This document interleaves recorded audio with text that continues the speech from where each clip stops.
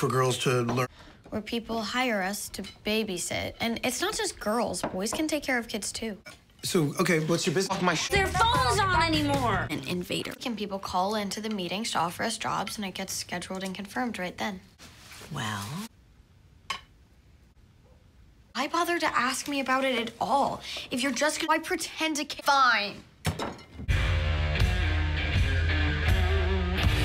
Do we have any soda? I don't. Hey, check this out. If if you go, something happened. Stace. Hey. I'm done.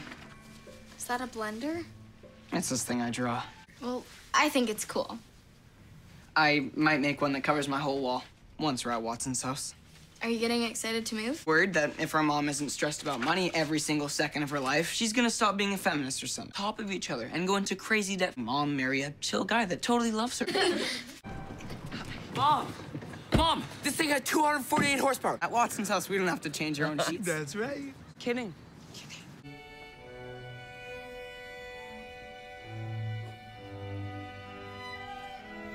I am a spiritual practitioner. Stacey, you wanna dance?